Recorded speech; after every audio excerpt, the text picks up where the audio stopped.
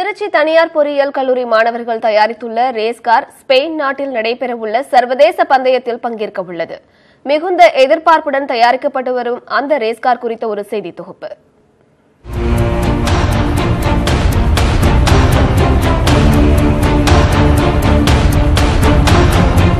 Spain நாட்டில் உள்ள அல்கானிஸ் நகரில் மோட்டா ஸ்டூடெண்ட் சர்வதேச போட்டி இரண்டு ஆண்டுகளுக்கு ஒரு முறை நடைபெற்று வருகிறது.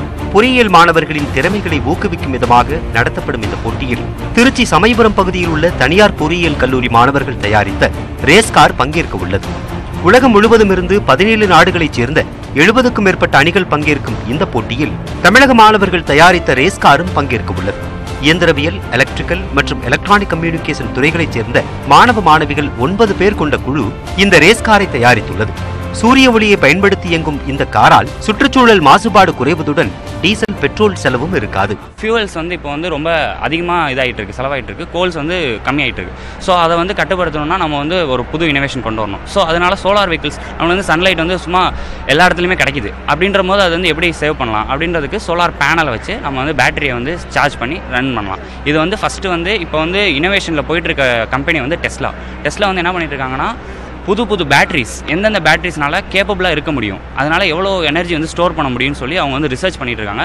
அது ரிசர்ச் பண்ணி அவங்க வந்து என்ன பண்ண போகிறாங்கன்னா பெஸ்ட் ஆஃப் பெஸ்ட்னு சொல்லிட்டு ஒரு சோலார் கார் இறக்க போகிறாங்க அவங்க. தொடக்க காலத்தில் தொடர்ந்து சறுக்கல்களை சந்தித்தாலும் அந்த சறுக்கல்கள் எல்லாம் தவறுகளை சரி செய்ய வழிகாட்டியதாக கூறும் மாணவர்கள் அதனைத் தொடர்ந்து டெல்லி மகாராஷ்டிராவில் நடந்த போட்டிகளில் பரிசையும் பெற்று வந்துள்ளதாக பெருமிதம் கொள்கின்றனர். நிறைய பேர் இந்த மாதிரி ப்ராஜெக்ட் பற்றி கேள்விப்பட்டுட்டு இருந்தோம். அப்போ வந்து எங்களால் முடியாதுன்னு நினச்சோம். அப்போ வந்து நாங்கள் அதை பற்றி நிறைய பேர் ஸ்டாஃப்ஸ் எல்லாம் வந்து டிஸ்கஸ் பண்ணிட்டு இருக்கப்போ என்னன்னா அந்த மாதிரி சொன்னாங்க. நீங்கள் எடுத்து பண்ணுங்க அப்படின்னு சொல்லிட்டு. அப்போ வந்து செகண்ட் இயர் ஸ்டார்டிங் அதாவது ஜான்வரி மந்தில் ஸ்டார்ட் பண்ணோம் அந்த ப்ராஜெக்ட்டை ஃபஸ்ட்டு டோட்டலாக த்ரீ காம்படிஷன்ஸ் இந்த கார் போயிருக்கு. என்எஸ்விசி ஐஎஸ்விசி எஸ்யூவிசின்னு சொல்லிட்டு. சர்வதேச போட்டியில் களம் காணும் திருச்சி மாணவர்களின் ரேஸ் காரை சென்னையைச் சேர்ந்த ரேசர் நரேஷ் பாபு ஓட்ட உள்ளதாகவும் இந்த போட்டியில் பங்கேற்பது தங்களுக்கு ஒரு நல்ல தொடக்கமாக இருக்கும் என்றும் நம்பிக்கை தெரிவிக்கின்றனர். அக்டோபர் மாதம் இந்த ப்ராஜெக்டை வந்து ஸ்பெயின்கா ஸ்பெயினில் காம்படிஷனுக்காக எடுத்துகிட்டு போகிறாங்க இந்த மாணவ மாணவியர்களை வந்து அவருடைய உழைப்பையும் அவருடைய அர்ப்பணிப்பையும் வந்து இது நல்ல முறையில் ரொம்ப பாராட்ட கடமைப்பட்டிருக்கிறேன்.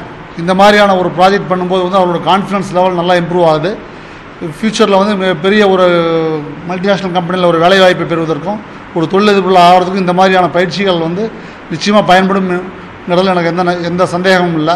எந்த ஒரு உதவியும் இல்லாமல் சுமார் இருபது லட்சத்திற்கு மேலாக செலவு செய்து மாணவர்கள் தன்னம்பிக்கையுடன் உருவாக்கியுள்ள இந்த ரேஸ் கார் சர்வதேச போட்டியில் பங்கேற்பது மகிழ்ச்சி அளித்தாலும் வெற்றி வாகை சூட வேண்டுமென்ற எதிர்பார்ப்புடன் களமிறங்கியுள்ள மாணவர்களின் அர்ப்பணிப்பு அவர்களின் சாதனைகளுக்கு வழிகாட்டட்டும்.